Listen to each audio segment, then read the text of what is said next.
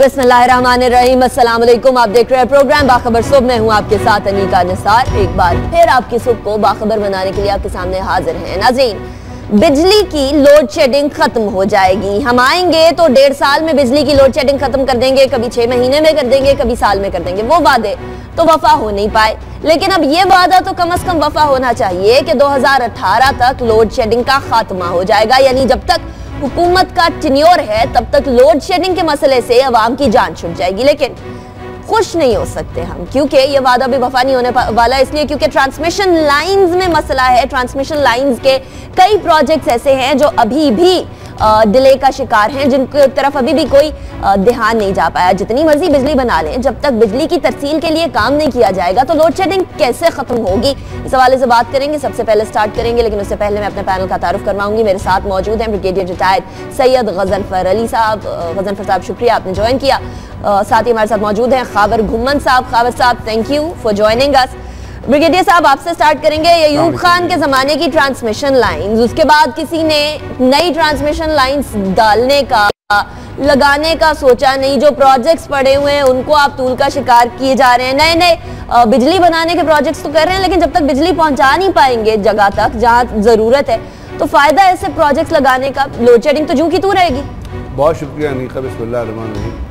اصل میں آپ جس چیز کی طرف اشارہ کر رہی ہیں نا وہ پاکستان کا میں کہتا ہوں ایک بہت بڑا گورننس کا اور ایک پلاننگ کا ایک بہت بڑا سیریس ایشو ہے۔ اور وہ صرف اس حکومت نہیں بلکہ پچھلی حکومتوں کے زمانے سے رہا ہے۔ لیکن جس طرح آپ نے کہا کہ کسی نے اس کو سنجیدگی سے حل کرنے کی کوشش کی نہیں اور سب نے اس کے اوپر جو ہے وہ ایک چیپ پاپولرٹی گین کرنے کی کوشش کی اب جب آپ اس میں مختلف فیسٹس ہیں اس کے اگر سب سے بڑی بات یہ کروں گا اگر آپ اس میں ایک فیسٹ دیکھیں جس میں آپ یہ کہتے ہیں کہ اب نئے کوئی پاور پلانٹ لگائیں گے جیسے بھاشا ڈیم بن رہا ہے یا آپ نے ایک نندی پور پاور پروجیکٹ لگایا اس کو بڑے فین فیئر سے اناگریٹ کیا۔ پہلے اس کو تباہ و برباد کیا پیپلز پارٹی کی حکومت نے۔ اس کے بعد جب یہ گورنمنٹ آئی اس نے اس کو لگایا۔ چار سو پچیس میگا واٹ کا وہ پروجیکٹ تھا۔ اس کو لگایا کتنا بڑا ظلم، کتنی بڑی زیادتی ہے کہ وہ ففٹی وہ اس کی کاسٹ جا کے کوئی ففٹی بلین کے قریب کے ایٹی بلین کے قریب چلی گئی تھی۔ لیکن چلو، جو بھی کاسٹ تھی، وہ چل جاتا، چار سو پچیس میگا واٹ بجلی پیدا کر لیتا۔ لیکن دکھ کی بات، اس ملک کے ساتھ کھلواڑ، اس ملک کے عوام کا مذاق جس طرح اڑایا جاتا ہے نا، جس طرح ان کو بیوقوف بنایا جاتا ہے، یہ میرا خیال کسی بنانا ریپبلک میں بھی نہیں ہوتا۔ کہ وہ پلانٹ ایک دن بھی نہیں چلا۔ اور محترم پرائم منسٹر نے اس کا افتتاح کیا تھا۔ وہ پلانٹ اس لیے نہیں چلا کہ اس میں جو مشینری لگی تھی وہ بنیادی طور پہ ٹیلرڈ تھی فرنس آئل کی طرف۔ اور فرنس آئل سے جو بجلی پیدا ہو رہی تھی وہ اکتالیس روپے پہ جا رہی تھی۔ گیس کی اس کی کیپیسٹی نہیں تھی اور وہ پلانٹ اگلے دن بند ہو گیا پھر اس میں فائلیں بھی چوری ہو گئی۔ اس سے بڑا مذاق کسی ملک کی عوام کے ساتھ اتنا بڑا دھوکہ کسی کے ساتھ ہو سکتا ہے۔ ہم آج تک خاموش بیٹھے ہوئے نیپ پی آج تک خاموش بیٹھی ہے کہ یہ انویسٹیگیٹ کرے کہ اتنا بڑا ظلم کیوں کیا گیا۔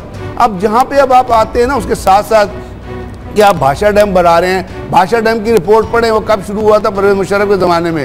بھاشا ڈیم کی رپورٹ کہتی ہے کہ وہ run of the river water dam جو ہے اگر وہ آج بننا شروع ہوگا تو دو ہزار اکتیس میں مکمل ہوگا۔ ابھی تک اس کے بعد آپ کے پاس فائننسز جمع نہیں ہوئے ہیں۔ وہ جمع وہ شروع نہیں ہو سکتا۔ اگر آج شروع ہوا نا تو دو ہزار اکتیس تک جا کے وہ مکمل ہوگا اس کے فائننسز نہیں ہیں اس کو فائننس کرنے والے نہیں ہیں۔ اس کے بعد آپ دیکھیے کہ یہ جو پاور کا سیکٹر کا پرابلم ہے نا یہ بنیادی طور پہ بہت ساری چیزوں سے ریلیٹ کرتا ہے۔ ایک دو کی طرف آپ نے پوائنٹ آؤٹ کیا۔ اس کے بعد اگر آپ دیکھیں پاکستان میں ایک بہت بڑا ایشو پڑا ہوا ہے وہ ہے سرکولر ڈیٹ کا ایشو یعنی آئی پی پیز تیل خریدتی ہیں وہ آئی پی پیز تیل خرید کے جو ہے جینکو کو دیتی ہیں۔ جینکو جو پاور ہے وہ ڈسکو کو دیتی ہے۔ ڈسکو جو مختلف لیسکو وغیرہ وہ ہمیں سپلائی کرتی ہے اب یہ ایک چین بنتی ہے جس کے ذریعے آپ نے پیمنٹ بیک کرنی ہے۔ پہلی بات تو یہ کہ گورنمنٹ نے دفعہ جو جو فگر جو میں ٹیبولیٹ جو کیے ان کو جو ریوائز کیا یا ان کو جو کھیلا اس میں جو آپ نے دو ہزار چودہ دو ہزار پندرہ میں جو سبسیڈی پرووائڈ کی تھی کی گئی تھی وہ بجٹ میں وہ تھی two hundred twenty one billion power sector کی۔ اس دفعہ انہوں نے اس کو ریوائز کر کے جو سبسیڈی دی ہے وہ نائنٹی ایٹ بلین کی سبسیڈی دے دی۔ اب نائنٹی ایٹ بلین کی سبسیڈی دو ہزار دو سو دو بجٹ کیوں دی؟ بجٹ ریونیوز کو امپروو کرنے کے لیے۔ اب وہ آپ کا پاور سیکٹر جو سرکولر ڈیٹ بڑھتا جا رہا ہے۔ اس کے بعد آپ کی جو پیمنٹس تھی جو آپ نے آئی پی پیز کو کرنی تھی وہ رکی ہوئی ہیں وہ نہیں جا رہی ہیں۔ اس کے بعد جو آپ نے کہا کہ آپ کا جو ڈسٹریبیوشن کا پرابلم ہے وہ موجود ہے۔ تو کوئلے کے اوپر جو سائیوال میں کام ہو رہا ہے وہ کہاں پہنچے گا؟ وہ کوئلہ کس سٹینڈرڈ کا ہے؟ تو اور آپ کے کون سے نئے پلانٹس لگ رہے ہیں؟ آئی پی پیز جو ہیں وہ یہ کہہ رہی ہیں کہ اگر ہماری پیمنٹس نہیں ہوئی تو ہم آپریشن بند کر کے چلے۔ جائیں گے تو یہ ملٹی فیسٹڈ پرابلم جو ہیں یہ ایک سال کے اندر حل نہیں ہو سکتے حل ہو سکتے ہیں اگر اس کے اوپر آپ جلسوں میں اسٹیٹمنٹ دینے کے بجائے سیریسلی بیٹھ کے ان لوگوں کے ساتھ جو اس کے ذمہ دار ہے ان کے ساتھ کام کرے کیونکہ وابڈا کے ہاتھ سے بھی بہت چیزیں نکل گئی۔ ہیں اب وابڈا میں آپ نے ایک چیئرمین لگایا وہ ہیں وہ ڈیلیور کر سکتے ہیں اگر وہ ڈیلیوری کا ہی تو۔ مسئلہ ہے، غزل بات پر یہ صاحب، ہے یہاں کہ تو ڈیلیوری بجلی کی نہیں میں ہو پا صرف رہی ہے۔ اس کو کنکلوڈ اس طرح کروں گا کہ جی۔ جو پرابلمز آپ کی موجود ہیں وہ جلسوں میں اسٹیٹمنٹ دینے سے حل نہیں ہو سکتی اور۔ نیپرا نے آپ کو کیٹیگوریکلی بتا Right۔ دیا نیپرا نے کہا کہ لوڈ شیڈنگ جو ہے وہ دو ہزار اٹھارہ تو چھوڑے آگے آنے والے دنوں میں آپ ٹرانسمیشن کیوں لائن لوگوں کو مطلب ہے اچھا، کیوں لوگوں کو بیوقوف ٹھیک ہے، بنا رہے ہاں، ہیں کل سانگلا آپ ہل میں بھی دیں کہ وزیر اعظم ہو صاحب نے ایک جلسہ کیا اس کے اندر بھی سوئی گیس بانٹتے ہوئے خاور صاحب انہوں نے بڑے پراؤڈلی بولا کہ جی میں آپ کو سوئی گیس دیتا ہوں جیسے یہ حق نہیں ہے یہ ایک احسان ہو رہا ہے عوام کے اوپر۔ عوام کو بجلی دے کر بھی ایک احسان ہو رہا ہے۔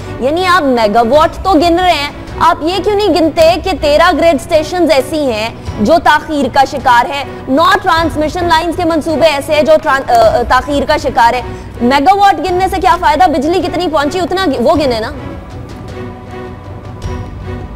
صاحب۔ پرائم منسٹر صاحب جس طرح آپ نے ذکر کیا نا کہ وہ وہ گیس گیس کی بات نہیں کرتے وہ کہتے ہیں جلسوں میں جا کے کہتے ہیں مانگو کیا مانگتے ہو؟ آپ کو کیا چاہیے؟ مجھے بتائیں آپ کو کیا چاہیے؟ تو پ- کل پتہ نہیں لوگوں نے وہاں پہ کیا مانگا لیکن یہ جو یہ جو رپورٹ ہے یہ ہم اور آپ بات نہیں کر رہے یہ national electric power regulatory authority ہے ایک- جو انڈیپینڈنٹ ادارہ ہے یہ اس کی رپورٹ ہے۔ اس میں تین چار جو چیزیں ہائی لائٹ کی ہیں آن گراؤنڈ وہ یہ ہیں۔ ایک تو وہ یہ کہہ رہے ہیں کہ ایک جو ساڑھے چار میگا واٹ آپ اگر دو ہزار سترہ کے ٹورڈز اینڈ تک اگر پیدا بھی ہو جائے گی تو وہ آپ کی جو ٹرانسمیشن کیپیسٹی ہے اس وہ اس کو ایبزارب نہیں کر سکتی۔ اس اس کو جو آپ پیدا ہونے کے بعد آپ لوگوں کے گھروں تک وہ نہیں پہنچا سکتے۔ دوسری وہ جو چیز ہائی لائٹ کر رہے ہیں وہ یہ کر رہے ہیں کہ جو پروجیکٹس آلریڈی آپ کے پائپ لائن میں ہیں اگر وہ کمپلیٹ وہ اگر آپ دو ہزار سترہ تک کمپلیٹ ہوتے ہیں تو ان کو ٹرانسمیشن لائن میں ڈالنے کے لیے آپ کو ایک سرٹن ٹائم پیریڈ چاہیے ہوتا ہے تو وہ دو ہزار اٹھارہ تک نہیں ہو سکتا۔ اچھا میرے جو میں اس ساری پرابلم کی طرف دیکھتا ہوں میں ہرگز یہ نہیں سمجھتا کہ یہ ہمارے جو حکمران ہیں وہ یہ پرابلم حل نہیں کرنا چاہتے۔ پرابلم حل کرنا چاہتے ہیں۔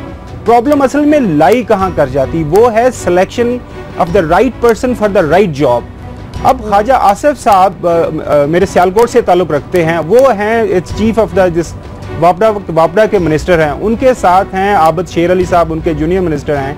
اب ان کے آپ ایٹیچیوڈ ان کی پرابلمز دیکھیں کہ ان کی ٹائم زیادہ کدھر گزر رہا ہے کہ یہ پاکستان کا سب سے بڑا مسئلہ پی ایم ایل این جب آئی تھی گورنمنٹ میں تو آپ کو یاد ہوگا کل بھی پرائم منسٹر صاحب نے یہ کہا کہ مجھے رات کو نیند نہیں آتی میں ہمیشہ یہ سوچتا رہتا ہوں کہ اس ملک میں بجلی کیسے اور کب پوری پوری کی جائے گی اب وہ تو بالکل سوچتے ہیں یاد ہوگا کہ جب یعنی دو ہزار تیرہ کا سال الیکشن شعیب ہوا تو اس کے بعد پرائم منسٹر صاحب نے۔ اسی لیے ہارٹ کا آپریشن کرانا میں وہی بتا رہا ہوں کہ وہ دو ہزار دو ہزار تیرہ کا جب الیکشن ہوا تو آنے کے بعد جو پہلی سپیچ کی پرائم منسٹر صاحب نے، اس میں بھی انہوں نے کہا کہ جی میں الیکشن سے پہلے بھی دو تین مہینے میں میٹنگز کر رہا تھا، میں سوچ رہا تھا۔ اب ہمیں وہ سوچ کی امپلیمنٹیشن آن گراؤنڈ نظر نہیں آ رہی۔ بات وہیں پہ آ جاتی ہے کہ آپ کی پرائرٹیز کیا ہیں۔ آپ نے جو لوگ وہاں پہ لگائے ہوئے ہیں، کیا وہ واقعہ ہی آپ کا جو، آپ کے جو الیکشن مینیفیسٹو تھا، اس کو امپلیمنٹ کرنے کے قابل ہیں، تھے یا نہیں ہیں؟ اب ساری معاملات صحیح۔ تو سامنے آ گئے ہیں اور یہ نیپرا کی رپورٹ ایک اور میں چیز ایڈ کرتا چلوں۔ نیپرا نے یہ رپورٹ صرف اوور نائٹ رپورٹ نہیں دی وہ یہ سارا ایویڈنس وہ کہہ رہے ہیں ہم نے پورے ایک سال تک اس کو پروسیس کیا ہے اس کی کنسلٹیشن کی ہے۔ سارے این ٹی ڈی سی اور اور جو جتنے سارے کنسرن ڈپارٹمنٹس ہیں ان کے ساتھ بیٹھ بیٹھنے کے بعد انہوں نے یہ فائنڈنگز دی ہیں۔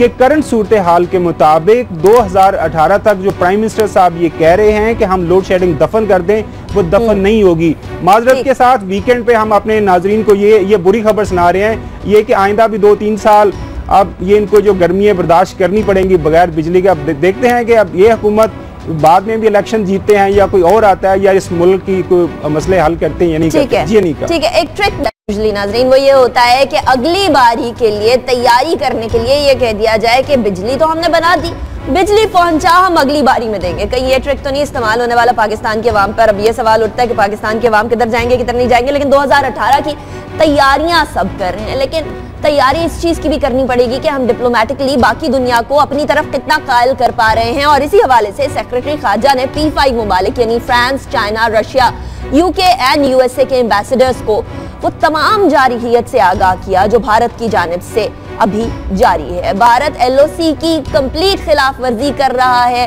اور مسلسل کیے جا رہا ہے۔ اس حوالے سے غزنفر صاحب، کئی بھارت یہ تو نہیں کوشش کر رہا کہ کشمیر کے حوالے سے پاکستان کو پیغام دیا جائے کہ کشمیر کے مسئلے کو دبا دیں اس کے بعد ہم ایل او سی کے اوپر خاموشی کر دیں گے۔ ہم بڑے سکون سے اس کو آگے لے کر چلیں گے، لیکن یہ مسئلہ عالمی سطح پر نہ اٹھایا جائے۔ اصل میں منیقہ بات یہ ہے کہ جو کشمیر میں جو ظلم اور بربدیت کا ایک سلسلہ جاری ہے۔ اور جس کے اوپر میں کہوں گا کہ جو وہ لوگ ویسٹرن حکومتیں جو ہیومن رائٹس کی چیمپئن ہیں جہاں کہتے ہیں جی کتا بھی مر جائے تو ہم بادرڈ ہوتے ہیں۔ اب امریکہ میں تو وہ ختم ہوتا نظر آ رہا ہے کیونکہ جو ٹرمپ کے آنے کے بعد جو حالات ہوں گے وہ آپ دیکھیے کس طرح ڈیولپ ہوتے ہیں۔ تو اس میں اس بربریت کو اس ظلم کو چھپانے کے لیے بھارت نے کچھ نہ کچھ کرنا ہے۔ اب وہاں پہ دو چیزیں ہیں۔ ایک تو بھارت کے اندر جو حکومت ہے وہ وہ دہشت گردی کے اوپر مبنی ہے۔ یعنی آر ایس ایس مودی اور ڈیول موہن بھگوت راجویشور سنگھ یہ سارے وہ لوگ ہیں جو دہشت گردی کا ایک فیس ہے۔ دہشت گردی کا پرچار کرتے ہیں اور انڈیا میں یہی چیز ڈیولپ کرنے کی کوشش کر رہے ہیں۔ دوسری بات یہ کشمیر میں کوئی گیارہ anti human law anti human rights law لگائے ہوئے ہیں۔ جو ایپسا سے لے کے نیچے پاٹا تک اور جے اینڈ کے سیکیورٹی ایڈ جموں اینڈ کشمیر لبرل وہ تک شروع ہوتے ہیں۔ ان کا مقصد یہ ہے کہ انڈین آرمی کو یہ پاور دینا کہ اگر وہ کسی جو اس کا ایک کلاز یہ کہتی ہے کہ وہ شک کے شبے میں کسی کو اگر ٹیررسٹ سمجھ کے اٹھا لیں تو ایک سال تک اس کو رکھ سکتے ہیں without any conviction without any trial اس کے بعد پھر وہاں پہ کچھ ایسی میس گریوز ڈیٹیکٹ ہوئی ہیں جس کے اندر ایک ایک قبر کے اندر دو ہزار دو ہزار اور دو ہزار ڈھائی ہزار لوگ جو ہے وہ دفن کیے گئے تھے۔ پھر کوئی ویسٹ میں تھوڑی سی لوگوں نے جو کشمیر امروز کونسل ہے جو کشمیر کونسل ہے اس نے باہر جا کے کچھ لوگوں نے یہ چیزیں دکھائیں کہ جی کشمیر میں بھارت کس طرح انسانیت کی تزلیل کر رہا ہے۔ اب چونکہ کشمیر میں یہ چیزیں ہوتی ہیں اور پاکستان کا بارڈر اس کے ساتھ لگتا ہے تو بھارت نے اٹینشن ڈائیورٹ کرنی ہے۔ اس اٹینشن کو ڈائیورٹ کرنے کے لیے وہ کبھی یو این او میں جاتا ہے کبھی بنگلہ دیش میں جاتا ہے کبھی وہ جا کے افغانستان میں جاتا ہے اور ہر جگہ جا کے وہ لوگوں کو وہاں بیان دیتا ہے۔ ہمارے ہاں ضرورت اس چیز کی تھی یہ جو کمپریہنسو چیزیں ہیں اور خاص طور پہ جو Kashmir J and K assembly کی جو ایک قرارداد آئی تھی جس میں بھارت جو ہے اس کو اپنا انیکس کرنا چاہتا تھا محبوبہ مفتی چاہتی تھی کہ کشمیر کو بھارت انیکس کر دو تو اس کے اوپر کشمیر سپریم کورٹ کی بھی ریزولیشن آ گئی کہ جی بھارت کی انڈین کشمیر کی J and K supreme court. اس کے بعد یو این او کا بھی آ گیا ریزولیشن آ گئی کہ جی کشمیر کو انیکس نہیں کیا جاتا۔ It's a problem which is to be solve اب اس کو کرنے کے لیے ہمیں جس طرح آپ نے اشارہ کیا آپ نے بتایا کہ اعزاز چودھری صاحب یہ بڑی اچھی ڈیولپمنٹ ہے۔ اس کو ایم شور انہوں نے جو آپ کے پاس پروف اویلیبل ہیں ویڈیوز کی صورت میں اور پرنٹ اور الیکٹرانک میڈیا کی صورت میں اس کو جیسے آپ نے ایک ڈیٹیل کہتے ہیں نا آپ نے فولڈر حوالے کیا ہے اس کے کوئی دو سو فولڈر بنانے چاہیے اور وہ دنیا کے جتنی آپ کی ایمبیسیز ہیں ان کو بھیج کے جو لیڈنگ چینلز ہیں جو پرنٹ اور الیکٹرانک چینلز ہیں دنیا کے یا جو حکومتیں ہیں ان کو وہ چیزیں پرووائڈ کرنی چاہیے۔ اور اس میں یہ بتانا چاہیے کہ وہ جو بچوں کو مار رہے ہیں جو عورتوں کی عصمت دری کر رہے ہیں جو لوگوں کے اوپر پیلٹ ایک پیلٹ گن کی جو تصویر لگائیں آپ کے ٹیلی ویژن پہ بھی روز چلنی چاہیے۔ اس لڑکی کی تصویر اس بچی کی سات سالہ بچی کی تصویر جس کے منہ پہ پیلٹ گن لگی ہیں اور اس کا سارا فیس ڈی فیس ہوا ہوا ہے۔ تو اس کے لیے ایک بڑی extensive diplomatic and media campaign کری گئی ہے اور موزی کا جو گندا چہرہ ہے اس کے اوپر جو اس نے غلازت جو ڈالی ہوئی ہے دہشت گردی کی وہ پوری دنیا کو دکھانے کی ضرورت ہے۔ کیونکہ اچھا۔ اس نے تو کہہ دیا کہ بھارت تو پوری کوشش کر رہا ہے کہ اپنے آرٹیکل 370 کو ختم کرے اپنے کانسٹیٹیوشن کے تاکہ کشمیر کے اندر قبضہ کر سکے کشمیر کے جو ایک ایک ایٹ لیسٹ ٹاپیج ہے اس کو بھی ختم کر سکے لیکن خاور صاحب یہاں ڈپلومیسی آج شروع ہوئی۔ اس سے پہلے کچھ ایسے پہلے شروع ہوئی جب کشمیر میں ظلم کی انتہا ہو گئی۔ ہم کہتے ہیں یہ اچھی بات ہے بہت اچھی بات ہے کہ آپ امبیسڈرز کو بلا کر ان کو بریف کر رہے ہیں۔ لیکن یہ بریفنگ کنٹینیوس نہیں ہونی چاہیے تھی، اس سے پہلے بھی، اب بھی اور آنے والے وقتوں میں بھی، کیونکہ بھارت تو پیچھے نہیں ہٹنے کا نام لے رہا۔ انیکا، میں فرینکلی اسپیکر میں تو اسلام آباد میں پچھلے سترہ سال سے رپورٹنگ کر رہا ہوں parliament house prime minister office اور سارے ان اداروں کی۔ ہمارا جو فارن آفس کی اسٹیبلشمنٹ ہے، میں تو ان سے بالکل ان کی کارکردگی سے مطمئن نہیں ہوں۔ ان کا جس لیول کا ایک پرو ایکٹیو اپروچ ہونی چاہیے وہ نہیں ہے۔ وہ شاید اس کی وجہ یہ ہے کہ ہمارے پاس فل ٹائم فورن منسٹر نہیں ہے جس کی وجہ سے ہم وہ کام نہیں ہو پا رہا صحیح طریقے سے۔ یہ جو پرووکیشنز ہو رہی ہیں۔ ڈپلومیسی خاور صاحب میں یہ بھی آپ سے جاننا چاہوں گی کیونکہ یو دیئر نہیں نہیں میں جو میں تو پی ایم ایل این کی گورنمنٹ کی بات کر رہا ہوں اسے ریسنٹ جو ایشوز ہیں ان کو لے کے چلیں۔ صحیح۔ دیکھیں ہو کیا رہا ہے؟ کہ دو ہزار دو ہزار تین کے اندر ایک ایگریمنٹ ہوتا ہے ceasefire agreement between India and Pakistan L O C پہ اور ورکنگ باؤنڈری پہ وہ ایگریمنٹ ہو جاتا ہے۔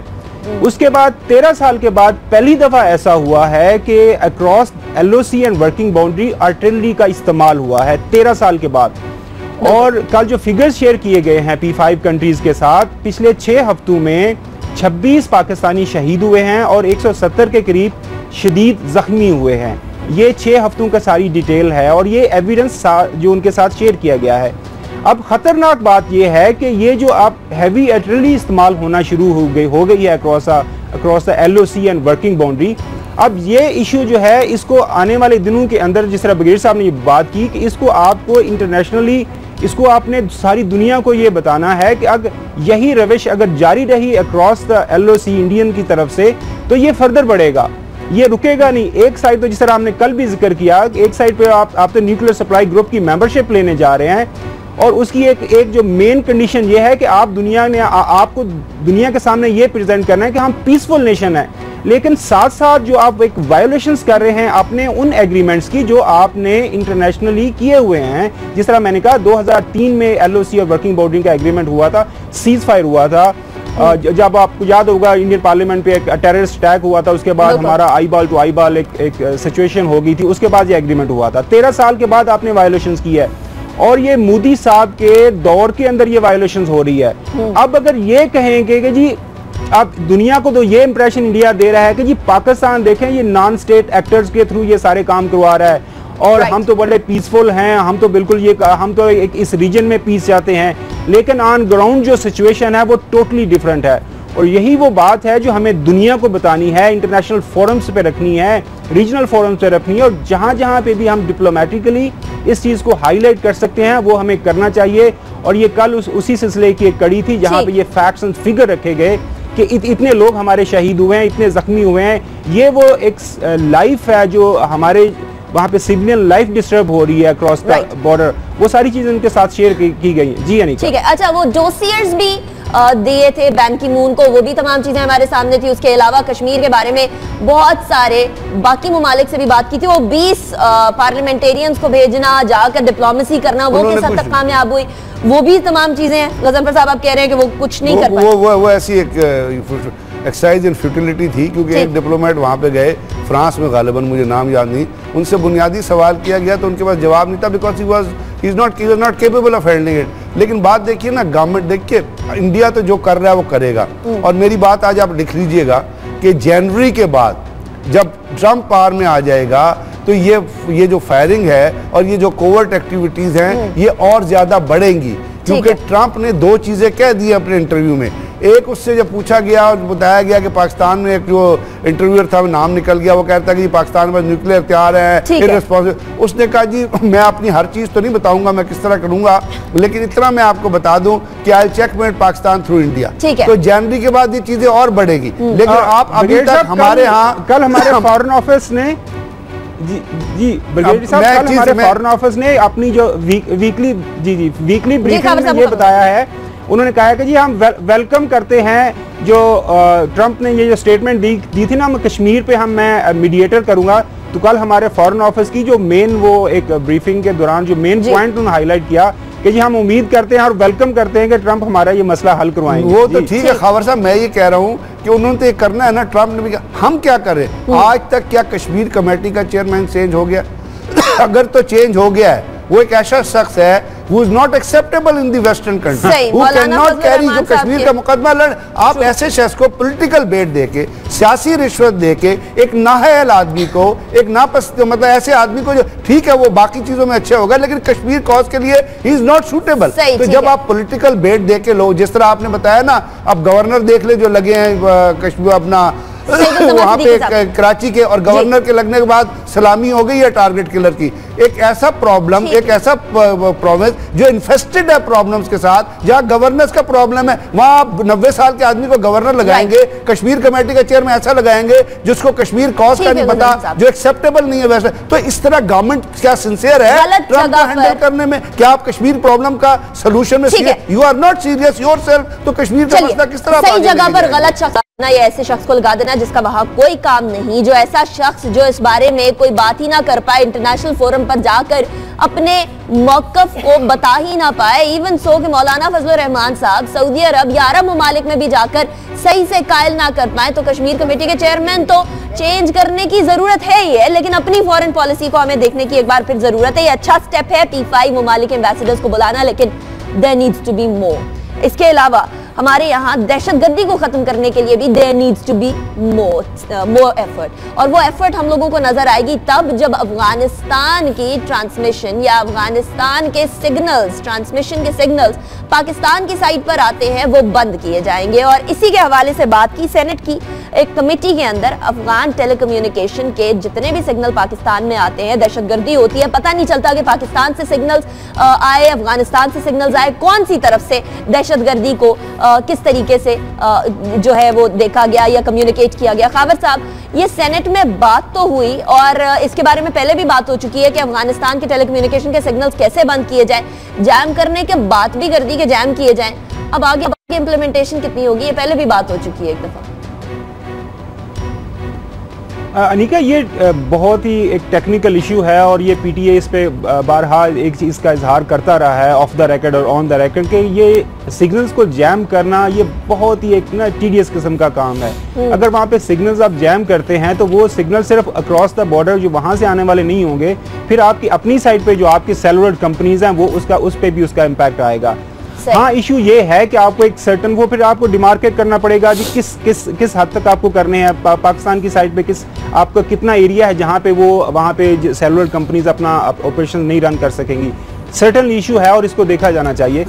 میرے نزدیک ایشو اس سے بڑا ہے۔ ایشو یہ ہے آپ کی بارڈر مینجمنٹ کا آپ کی بارڈر فینسنگ کا۔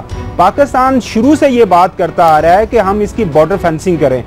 افغانستان کی طرف سے جب پاکستان یہ ایشو ہائی لائٹ کرتا ہے وہ بارڈر فینسنگ پہ آتے نہیں ہیں۔ اب ایشو سارے کا سارا اس کے بعد پھر جب بھی کوئی terrorist activity within Afghanistan ہوتی ہے کابل میں ہوتی ہے یا کسی افغانستان کے اور شہر میں ہوتی ہے وہ پھر اگین وہ وہ تانتے مانتے وہ جوڑنا شروع کرتے کہ جی پاکستان سے سارا ہوا ہے۔ وہاں پہ آپ پھر پریزیڈنٹ کی طرف سے ان کے اسٹیٹمنٹ آ جاتی ہیں ان کے چیف ایگزیکٹو کی طرف سے اسٹیٹمنٹ آ جاتی ہے ساتھ میں پھر اور کے جو انٹرنیشنل انٹرنیشنل پلیئرز ہیں وہ اس میں ایڈ آن کرنا شروع کر دیتے کہ جی Pakistan needs to take care of جو ٹیررس پلیئرز ہیں سائڈ اور وہ اس طرح کی ایک نیریٹو بلڈ کرنا شروع کرتے تھے جب پاکستان بارہا یہ چیز ہائی لائٹ کر چکا ہے اور ایک کہہ چکا ہے کہ جی لیٹ سٹ ٹوگیدر اور یہ بارڈر مینجمنٹ کریں بارڈر فینسنگ پراپر کریں۔ جب بارڈر فینسنگ ہو جائے گی تو پھر جو ایک کراس دا بارڈر وہ ایزیلی جو موومنٹ ہے ٹو اینڈ فرو وہاں پہ بگیڈ صاحب نے تو وہاں پہ سب بھی کیا سارے ایریاز کو دیکھا ہوئے بڑی اچھی طرح۔ وہاں پہ تو لوگ ایسے ایریاز ہیں پورس بارڈر ہے لوگ آتے جاتے ہیں آرام سے صبح ادھر رات ادھر سمگلنگ ہو رہی ہے۔ اور باقی جو ٹیررس ایکٹیویٹی میں بھی وہ جو پورس بارڈر ہے وہ مین رول ادا کرتا ہے۔ ہاں پی ٹی آئی کو ایک رول ادا کرنا ہے، وہ کیونکہ جتنے بھی آپ ہمارے ہاں جتنے بھی مین ٹیررسٹ ایکٹ ہوئے ہیں، اس میں وہ سمز افغان بیس سمز استعمال ہوئی ہیں اور وہاں سے ان کو آپریٹ کیا گیا ہے۔ ایشو ہے، لیکن ایشو یہ یہ اس کو ہینڈل کرنے کے لیے آپ کو ایک بہت اسپیسیفکس میں جانا پڑے گا۔ جی ٹھیک ہے۔ اچھا غزنفر صاحب بارڈر مینجمنٹ تو ٹھیک ہے اپنی جگہ پر، لیکن ایک بارڈر مینجمنٹ ہو گئی، وہ فزیکل چیز کو روک دیا۔ مینٹالٹی کو کیسے روکیں گے؟ اس حوالے سے میں آپ سے بات کروں گی، لیکن ابھی مجھے طرف بریک کے بعد اس ٹاپک کو کنٹینیو کریں گے اور بات کریں گے کہ افغانستان کی طرف سے جو ہمارے یہاں ٹیررزم بھیجی جا رہی ہے ایکسپورٹ کی جا رہی ہے، اس کا کیا؟ Welcome back after break break پہ جان سے پہلے بارڈر مینجمنٹ کی بات ہو رہی تھی۔ غزنفر صاحب بارڈر مینجمنٹ ہو جاتی ہے، بالکل درست۔ اس کے بارے میں بات چیت بھی ہو رہی ہے، افغانستان کی طرف سے ریٹیلیشن بھی آ رہی ہے، وہ بھی بالکل درست۔ لیکن بارڈر مینجمنٹ سے فزیکل سٹاپیج ہو جائے گی نو ڈاؤٹ لیکن ایک مائنڈ سیٹ جس کی وجہ سے سگنل بند کرنے کی بات کی جا رہی ہے کہ سگنلز بند کیے جائیں۔ جو مائنڈ سیٹ یہاں بھی کچھ لوگوں کا ہے وہاں بھی ہے۔ آپس کی کمیونیکیشن جو ہے سب سے بڑا مسئلہ کریٹ کری ہے۔ وہ بھی تو امپورٹنٹ ہے۔ بات یہ ہے کہ آپ پاکستان اور افغانستان کے درمیان سولہ فٹ کی دیوار بھی کھڑی کر لینا۔ تو جو افغانستان کے اندر جو پاور چپکلش ہے اور جو افغانستان کے اندر جو انڈیا کے تھرو پیسے کھا کے پاکستان کے خلاف کرنے والی بات ہے خاص طور پہ یہ عبداللہ عبداللہ اور باقی نادرن الائنس جیسے لوگ ہیں یہ کبھی ختم نہیں ہو سکتی۔ Because they are living on خیرات آف انڈیا ٹھیک ہے؟ اور انڈیا نے ان کو اتنے بری طرح سے کلٹیویٹ کیا ہے کہ وہ آپ جو مرضی کر لیں جو ملک جس ملک کے لوگ یہ احسان نہیں پہچان سکے آج تک کہ پاکستان نے اپنے سوشل فائبر کو خراب کیا بیکاز آف دی افغان جہاد کیوں جو لوگ یہ نہیں پہچان سکے کہ پاکستان نے کتنی ان لوگوں کی مدد کی جو شربت گلہ جیسے لوگ یہاں کے رہ رہے تھے اور اس کے باوجود وہ وہاں پہ ان دہشت گردوں کو پناہ دیتے ہیں، آج تک این ڈی ایس ان سے ملتی ہے، عبداللہ عبداللہ ان کو سپورٹ کرتا ہے، ان کا افغان آرمی چیف اس کو سپورٹ کرتا ہے جو خالد خراسانی اور فضل اللہ وار ہے کہ ان کو پوری پروٹیکشن پرووائڈ کرتے ہیں۔ عربی آر مری کو پروٹیکشن پرووائڈ کرتے ہیں برمداد بکتی کو پروٹیکشن پرووائڈ پاکستان کے خلاف سازشیں کرتے ہیں۔ تو جو اتنی احسان مند قوم ہوگی جو احسان فراموش قوم ہوگی وہ کبھی ٹھیک ہو نہیں سکتی۔ اور افغانستان کی برانی طور پہ تباہی کا باعث یہ ہے کہ انہوں نے ہر اس شخص کو چھرا گھوپا ہے ان کے لیڈرز نے عام افغان نے نہیں ان کے ہر اس شخص جس نے ان کی مدد کرنے کی کوشش کی ہے۔ اب یہ تو ہے وہاں پہ سائیکلوجیکل مائٹ ہے جو ایگزسٹ کر رہا ہے۔ اور جو پاور وہاں پہ اوپر اور وہاں پہ آپ نے دیکھا ہے کہ افغان آرمی کے اندر بھی آپ ڈیزرشن رول دیکھ لیں وہاں پہ پروجیکٹس دیکھ لیں کس طرح چلے ہیں۔ کرزئی کا بھائی کیوں قتل ہوا تھا؟ اس لیے ہوا تھا کہ وہ بہت بڑا ڈرگ سمگلر تھا۔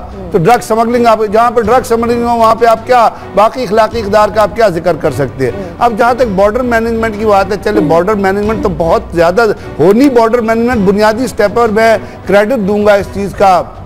چوہد نثار کو کہ وہ بڑے فرم رہے ہیں اس کے اوپر کہ انہوں نے کہا جی بارڈر مینجمنٹ ہونی نہیں تو بارڈر بند ہو جائے گا۔ آپ بارڈر مینجمنٹ کریں گے تورخم پہ کریں گے آپ چمن پہ کریں گے انگور اڈا پہ کریں گے۔ لیکن جو پاکستان افغانستان کے درمیان جو بارڈر ہے وہ جس طرح پورس بارڈر موجود ہے اور اس کی جو ڈیفائز اس کی جو کانفیگریشن ہے نا بارڈر کانفیگریشن وہ اتنی ٹیرین کے وائز سے اور lay out geographical lay out کی وجہ سے اتنی ڈیفیکلٹ ہے کہ وہاں پہ ہر چیز کو مین نہیں کر سکتے آپ۔ اور ایک پاکستان افغانستان کے درمیان برطانیہ کے زمانے سے ایک ایزمنٹ رائٹ بھی ایگزسٹ کر رہے تھے جس کے تحت جو ہے نا twelve kilometre trans frontier six frontier لوگ آ جا سکتے تھے وہ ڈیوائیڈڈ فیملیز آ رہی تھی۔ ایک تو اس کو ریووک کرنے کی ضرورت ہے دوسری بات ہے بارڈر مینجمنٹ کو افیکٹو کرنے کی ضرورت ہے۔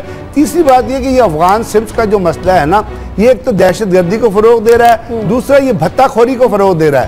آپ کو پتہ ہے بہت سارے لوگوں کو کالز آتی ہے کہ جی آپ اتنے پیسے دے دیں یہ کر دیں وہ۔ اب اس کو روکنے کے لیے تو کچھ نہ کچھ پی ٹی اے کو پریکٹیکل اگر آپ اس کو کہتے ہیں نا کہ موبائل سرورز ہیں وہ لگے ہوئے ہیں یا ان کی چیزیں نہیں ہو سکتی تو بنیادی طور پہ جیسے اب سواب پہ تھا نا سواب میں ایف ایم ریڈیو بڑے چل رہے تھے اور اس کو پتہ ہے وہ فضل اللہ کو ملا ریڈیو کہا جاتا تھا۔ تو اس کے بعد ان کو بھی تو آپ نے ختم کرنے کی کوشش کی۔ تو بات یہ ہے کہ آپ کو بیونڈ اور آج کل ایسا ٹیکنیکل اکیپمنٹ ایگزسٹ کر رہا ہے جو ایک ریڈیس میں آپریٹ کرتا ہے۔ وہ کس طرح ہے؟ جیسے اب آپ کسی چیک پوسٹ سے گزرتے ہیں یا جو وی آئی پی جا رہا ہوتا ہے اس کی آگے ایک گاڑی چل رہی ہوتی ہے وہ کیا کر رہی ہوتی ہے؟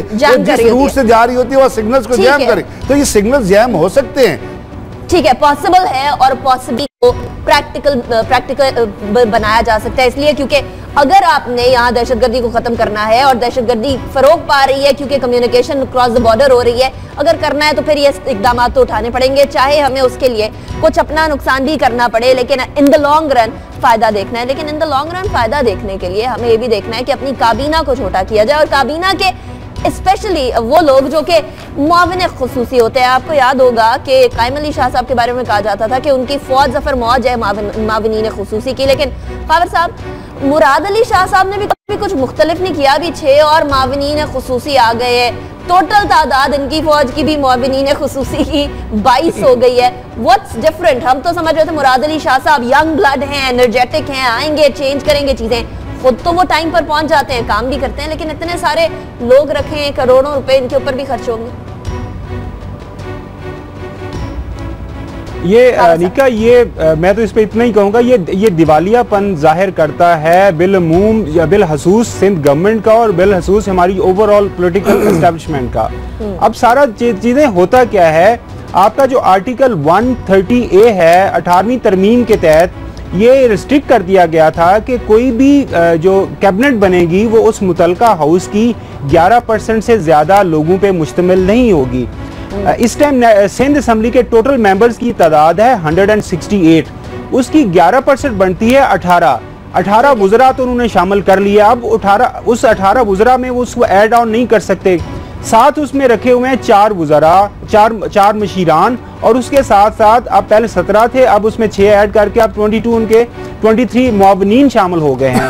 اور اندازہ کریں اسے ابھی دو دو دن پہلے ایک ایک ورلڈ بینک کی رپورٹ آئی ہے۔ اس کے مطابق جو سندھ کے اندر لٹریسی ریٹ کا جو حال تو ہے ہی ہے کراچی سٹی کو the most unlivable city of the world قرار دیا گیا ہے کہ وہاں پہ جو انفراسٹرکچر ہے سندھ کا کراچی سٹی کا اور وہاں کی جو اوورال گورننس ہے، وہاں پہ جو ٹرانسپورٹیشن ہے سیورج کا سسٹم ہے لوکل گورنمنٹس ہیں، وہ ورسٹ لیول پہ جا چکے ہیں۔ تو یہ مراد علی شاہ صاحب، ہم نے تو یہی ہم سنا تھا اور انہوں نے یہ بھی کہا تھا کہ میں باہر سے پڑھ کے آیا ہوں، میں ینگ ہوں اور میں ایک نئی گورننس دوں گا۔ میں قائم علی شاہ صاحب سے ہٹ کے آپ کو ایک نظر آئے گا کہ ود ان نو ٹائم آپ کو کراچی شہر کے اندر اور اوورال سندھ کے اندر ایک نئی حکومت نظر آئے گی۔ ان کی جو آن گراؤنڈ ڈلیوریز ہے وہ بہتر ہوگی۔ لیکن ہمیں جو ابھی ڈلیوری جو بہتر نظر آ رہی ہے وہ تو نمبر آف معاونین ہے اور یہ سارے ان الیکٹڈ ہے ان الیکٹڈ کا مقصد یہ ہے کہ آپ نے وہ سارے وہ ان لوگوں کو خوش کرنا چاہ رہے ہیں۔ اپنی جو کانسٹیچوئنسی میں یا آپ کے جو پولیٹیکل ایکسپیرینسی جو اکثر ہم بات کرتے ہیں پارٹی کے اندر آپ کے جو انفلوئنشلز ہیں ان کے چاچے مامے بتیجے وہ سارے کزن وزن وہ سارے ایڈجسٹ ہو رہے ہیں تو بس اللہ ہی حافظ ہے اس ملک کا کہ آپ دیکھیں ہمارے جو ایک سائڈ پہ ہمیں ہمیشہ یہ سبق سکھایا جاتا ہے کہ جی جب ٹیلی ویژن پہ بیٹھ کے اینکر حضرات یہ ہمیشہ پولیٹیشنز کو ٹارگٹ کرتے ہیں کیونکہ یہ ایزی ٹارگٹ ہے ہم ٹارگٹ جی۔ نہیں کرتے ہم آپ کی وہ چیزیں ایز ایز اے واچ ڈاک ہمارا کام ہے آپ کو یہ بتانا کہ یہ کام آپ غلط کرتے ہیں۔ آپ کو کانسٹیٹیوشن کہتا ہے کہ آپ کی کیبنٹ کی تعداد اٹھارہ سے زیادہ نہیں ہونا چاہیے۔ لیکن آپ اس میں جو یہ وائلوشن کر کے جی میں نے معاونین رکھے ہوئے ہیں۔ کیبنٹ وزراء اٹھارہ ہی ہیں۔ وہ میں وائلوشن نہیں کر رہا کانسٹیٹیوشن کی لیکن باقی ساتھ آپ میں معاونین ایڈ کر لیے۔ وہ اب یہ ہے کہ یہ ہمارے پولیٹیشن کو اٹھانے لگ گئے اب حکومت کو تو ظاہر ہے جب آئینہ دکھائیں گے تو برا مان جائیں گے وہ لوگ۔ لیکن غزنفر صاحب یہاں معاونین خصوصی یعنی ایسے ایڈوائزر اسپیشل ایڈوائزر کیا آپ کی کابینہ میں اتنے قابل لوگ نہیں کہ وہ آپ کو پراپر ایڈوائز دے سکے؟ آپ نے جو وزراء لگائے ہیں، وہ یہ دیکھ کر نہیں لگائے کہ وہ آپ کو پراپر ایڈوائز دے سکیں گے یا نہیں دے سکیں گے؟ ایک دو سمجھ آتی ہے، چار پانچ بھی سمجھ آتی ہے ایک فوج بنا دینا اور پھر اس کے بعد ساتھ آپ کی کابینہ بھی ہونا یعنی آپ کے پاس کابینہ میں رکھنے کے لیے اہل لوگ نہیں تھے وہ آپ لوگوں نے ایسے رکھے کہ جن کو صرف آپ کو رکھنا تھا مجبوراً پالیٹکس کی بیسس پر۔ کیا یہ یہ اصل میں نہیں کہا فزیکل کرپشن جو ہوتی ہے نا وہ تو آپ قانون کے ذریعے لاس کے ذریعے اینٹی کرپشن ڈپارٹمنٹ کے ذریعے مختلف میئر کے ذریعے روک سکتے ہیں۔ لیکن جو انٹلیکچول کرپشن ہوتی ہے نا اس کو روکنا بڑا مشکل ہوتا ہے۔ اور یہ چیز جس طرح آپ نشاندہی کر رہی ہیں نا یہ انٹلیکچول کرپشن میں شامل ہوتی ہے کہ آپ اینالائز نہیں کرتے بیٹھ کے کہ میرے اس قدم کا اس اقدام کا ان اقدام کا اثر عوام پہ کیا پڑے گا۔ یہ لیڈر کی ذمہ داری ہوتی ہے۔ لیڈر اور لیڈ کا ایک جو ہے کانسیپٹ ہے دنیا میں۔ ایک چین ہے۔ اور وہ چین آپ وائلیٹ کرتے ہیں جب آپ at the cost of public اپنے آپ کو یا اپنے ہواریوں کو یا اپنے جاننے والوں کو سیٹسفائی کرتے یا ان کو آپ سیاسی رشوت دیتے۔ اب بات یہ ہے کہ یہاں پر یا تو چلے ایک اور اس کا پہلو بھی دیکھ لیتے۔ ہیں دوسرا پہلو یہ ہے کہ آپ نے معاونین رکھے اور ان معاونین کی وجہ سے آپ کے صوبے کی پرفارمنس بہتر ہو گئی مختلف میئر میں۔ جیسے کراچی کو کہتے ہیں نا وہ باٹم سے باٹم کی جو دس والے شہر ہیں نا ان کے اندر وہ آتا ہے۔ تو ہاں جی کچرے کی صورت بہتر ہو گئی پانی کی صورت بہتر ہو گئی وہاں سے ڈم ختم ہو گئے سیوریج کی سسٹم ہے۔ اگر تو وہ معاونین نے کر دیا تو پھر تو بھائی بہت اچھا کیا آپ نے فائدہ لیکن اگر وہ ورسٹ ٹو ورسٹ ہوتی جا رہی ہے، اگر لوگ دو سو چینتیس، چونتیس بچے مر رہے ہیں اور چیف منسٹر بیٹھا ہوا ہنس رہا ہے اور ڈیزائنر سوٹ پہن کے پھر رہا ہے، تو آپ بتائیے کہ اس میں لوگوں کو لوگ کیا کہیں گے؟ یا اس کے اوپر آپ کا کیا کامنٹ ہونا چاہیے؟ کیا شاباش دینی چاہیے آپ کو؟ جو گورننس کا حال ہے سندھ میں، اس پہ ہم زیادہ کیا جائیں گے؟ یہ تو رپورٹ جو ہے آپ نے جو جس کا ریفرنس دیا یہ ظاہر کر دیتی ہے گورننس کا کیا حال ہے۔ وہاں پہ بہت ساری چیزیں آئیں جس میں یہ کہا گیا کہ فلانا بتہ فلانی جگہ بیچا جاتا ہے فلانا بتہ فلانی جگہ بھیجا جاتا ہے۔ تو بات یہ ہے کہ ان چیزوں کو انٹلیکچول کرپشن کو یہ لوگ کرتے رہیں گے۔ سفر کون کریں گے؟ وہی بنیادی چیز۔ سفر کریں گے عوام کراچی کے عوام کے ساتھ یہ دوسرا ظلم ہے کیونکہ اس سے پہلا ظلم ہوا کہ آپ نے گورنر وہ رکھا ہے جو کچھ ڈیلیور نہیں کر ایک آپ نے گورنرز کا اسٹرکچر جو ہے نا وہاں پہ گورنرز اور ایڈمنسٹریٹو اسٹرکچر توڑ کے رکھ دیا ہے کچھ انہوں نے کیا کچھ فیڈرل گورنمنٹ نے کر دیا۔ ٹھیک ہے۔ اب اب ہم لوگوں کو یہ چیز سمجھ آ بگیڑیل رہی ہے۔ بگیڑیل صاحب آپ جی صاحب اچھا کوئی علی کا بگیڑ صاحب آپ سعید سعید الزمان صدیقی صاحب کو آپ چھوڑ دیں آپ انہوں نے حلف اٹھا لیا آپ ان کو آپ چار دن ہیں ان کو وہ ایمبولینس سے پانچ مہینے رہ پڑے گئے گی اس نا۔ گورنمنٹ کے ان کو ہاں ان کو بس۔ ان کو رہنے دیں کر لینے دیں ان کو بھی گورنر ہم لوگوں کو اب یہ چیز نظر آ رہی ہے کہ انجوائمنٹ خاور صاحب آپ نے کہا ان کو انجوائے کرنے دیجیے یہاں تو بڑے بڑے لوگ انجوائے. کر رہے ہیں ہر کوئی انجوائے کر رہے ہیں اور پی سی بی والے بھی بڑا انجوائے کر رہے ہیں۔ لیکن جب پی سی بی والے انجوائے کر رہے ہیں وہ کیسے کر رہے ہیں؟ پی ایس ایل کے میچز ہونے ہیں ناظرین. پی ایس ایل کے میچز ظاہر ہے پاکستان میں تو ہو نہیں رہے کیونکہ پی سی بی تمام ٹیمز کو پاکستان کی سیکیورٹی کے حوالے سے مطمئن کرنے میں ناکام رہا ہے. اب نوازا اس کے اوپر یہ جا رہا ہے کہ وہاں کے بورڈ آف گورنرز کو جو ہے وہ میچز دیکھنے کے لیے مراد دی جائیں گی. ان کا خرچہ اٹھایا جائے گا، ان کو میچز دیکھنے کے لیے لے کر جایا جائے گا. غزن صاحب کس چیز کا انعام ہے؟ وہاں پہلے شہریار خان صاحب کے علاج کے لیے 67 لاکھ روپیز لگا دیے جاتے ہیں پی سی آپ نے خود ہی کہہ دیا نا کہ جب علاج کے لیے اور اس کے اوپر کوئی چیک نہیں آیا کیونکہ آپ ریلیٹڈ ہیں یا آپ بلیسڈ ہیں۔ یا آپ کے اوپر نوازشات کی بارش ہے اور نوازشات کی بارش ہے at the cost of the public money کیونکہ جو جنہوں نے یہ بارش کی ہے، وہ خود بھی اس کے اندر انوالو ہے۔ تو اب آپ کیا کیا چیزیں کریں گے یہ وہی ہے جو آپ سندھ گورنمنٹ کی بات کر رہی تھی۔ یہ وہی انٹلیکچوئل کرپشن ہے جس کی طرف میں اشارہ کر رہا ہوں۔ کہ جی آپ، بجائے اس کے کہ بورڈ کو اسٹرینتھن کریں، آپ بورڈ کو بڑھائیں، کوئی آپ انسٹیٹیوشن ڈیولپمنٹ پہ پیسہ خرچ کریں، کوئی گراؤنڈز پہ پیسہ خرچ کریں، کوئی کنونسنگ پہ کنونسنگ پہ پیسہ خرچ کریں، کوئی باہر اپنی کیمپین چلائیں۔ کہ ٹیم میں آپ یا لوگوں کو ایسے لوگ جو مطلب ہے، جن کے اوپر بہت سارے سوالیہ نشان ہیں اور جو بہت ساری ڈسپیوٹڈ پرسنالٹیز ہیں تو اس سے بڑا مجھے بتائے نا بات تو پھر سپریم کورٹ نے ٹھیک کی نا کہ یہاں پہ بادشاہت ہے مونوکریسی ہے تو وہ مونوکریسی صرف گورنمنٹ لیول پہ تو نہیں ہے نا وہ مونوکریسی تو ہر ڈپارٹمنٹ میں ہے۔ کیونکہ ہر ڈپارٹمنٹ کے ہیڈ کو پتا ہے کہ میں نہ تو کسی کو اکاؤنٹیبل ہوں نہ کسی نے مجھ سے پوچھنا ہے نہ کسی میرا نوٹس لینا ہے تو میں جو اندھی مچاؤں جو کچھ میں مرضی کروں میں جس طرح کھاؤں جس طرح کرپشن کروں مجھ سے پوچھتا تو ہے تو بات یہ کہ۔ پوچھے گا کون۔ جو یہ اس اس ڈیسیجن پہ کسی کو تو سوال اٹھانا. چاہیے اور حکومت کو سوال اٹھانا چاہیے۔ ہمارے یہاں رسپانسبلٹی دے دی جاتی ہے اس کے ساتھ اکاؤنٹبلٹی نہیں کی جاتی اسی لیے مسئلے آتے ہیں۔ خبر صاحب یہاں آسٹریلیا کی ملٹری کی کرکٹ ٹیم آ کر کھیل کر چلی جاتی ہے واگا بارڈر پر انجوائے کر کے چلی جاتی ہے۔ یہاں پیسز کے مقابلے ہو جاتے ہیں یہاں فوج کتنے مقابلے کر لیتی ہے کتنے بیرون ملک سے لوگوں کو فورنرز کو بلا کر پاکستان دکھا دیتی ہے۔ لیکن پی سی بی اس چیز کے اوپر کسی ٹیم کو آمادہ نہیں کر پاتا کہ پاکستان سیف ہے سیکیور ہے، یہاں کوئی مسئلہ نہیں ہوگا۔ جو انڈیا نے کرنے کی کوشش کی تھی سری لنکن ٹیم کے ساتھ، وہ تمام چیزیں بھی جو ہیں وہ غلط تھیں یا صرف اور صرف ایک پروپاگینڈا تھا۔ کوئی کسی چیز کو آپ پراپرلی کنونس نہیں کر پا رہے لوگوں کو۔ اس کے بعد بھی آپ کو انعام پہ انعام دیے جا رہے ہیں۔ پھر ایک ول ہی نہیں رہے گی لوگوں میں، ایک مرال ہی لو ہو جائے گا کہ ٹھیک ہے، اگر ہمیں کام کیے بغیر بھی مرات مل رہی ہیں تو اس کے باوجود بھی ہم کام کیے جائیں۔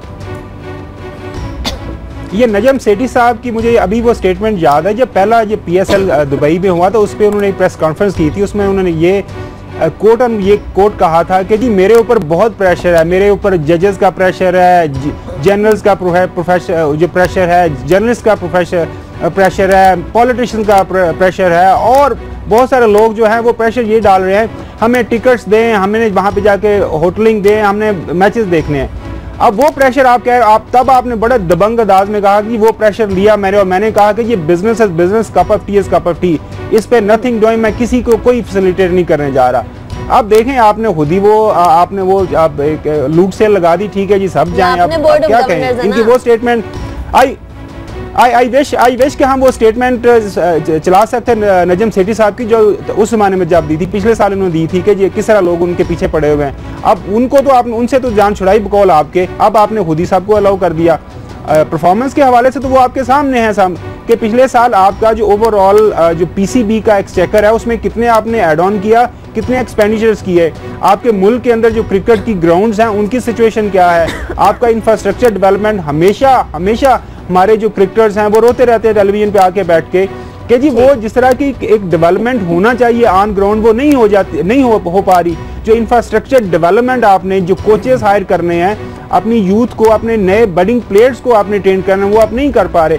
ساری کی ساری ہماری توجہ انفارچونیٹلی وہ ہر لیول پہ ہے۔ پولیٹیشن لیول پہ گیمز لیول پہ آپ کسی لیول پہ چلے جائیں وہی ہے کہ جی نئے نئے وزراء آ رہے ہیں۔ سب سے بہتر ان کا جو سب سے زیادہ فوکس ہوتا ہے کہ جی ہم نے فورن ٹرپ کیا کرنے ہیں۔